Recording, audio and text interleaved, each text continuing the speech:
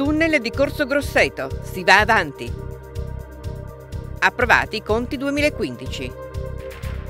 Assistenza. Le novità del decreto sui LEA.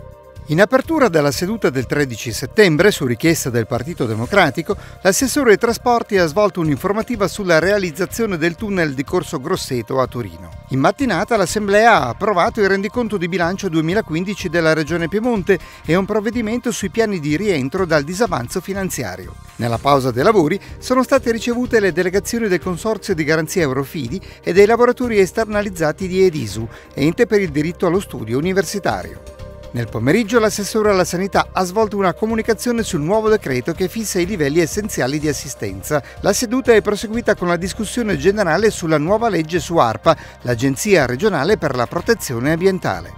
In copertina, il sottopasso di Corso Grosseto a Torino produrrà benefici all'intero sistema della viabilità torinese. Modificare il progetto oggi significherebbe perdere i finanziamenti e dover pagare penali. Lo ha ribadito l'assessore ai trasporti Francesco Balocco durante la comunicazione in aula richiesta dal Partito Democratico a seguito dei dubbi espressi dalla sindaca di Torino. Il progetto esecutivo, ha proseguito l'assessore, è già completato all'80% e dovrà essere concluso entro novembre. Durante il dibattito il Movimento 5 Stelle ha ribadito la propria contrarietà all'opera. Favorevoli il Partito Democratico e Forza Italia.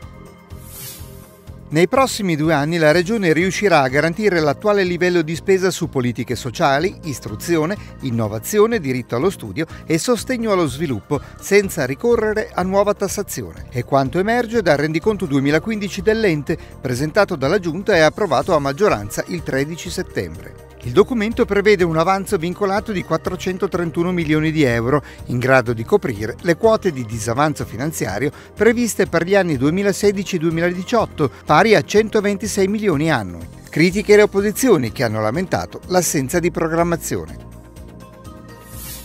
È addirittura di arrivo a Roma il decreto che ridefinisce i LEA, i livelli essenziali di assistenza, cioè le attività, i servizi e le prestazioni garantite ai cittadini dal Servizio Sanitario Nazionale.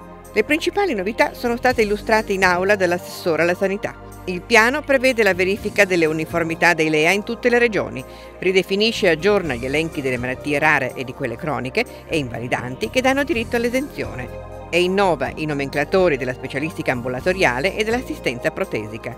800 i milioni di euro stanziati dalla legge di stabilità.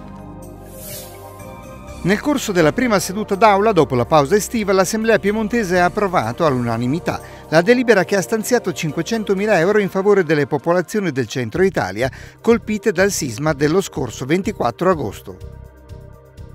Il Consiglio regionale ha istituito nei giorni scorsi un conto corrente postale per rendere possibile un gesto concreto a favore di chi è rimasto senza casa.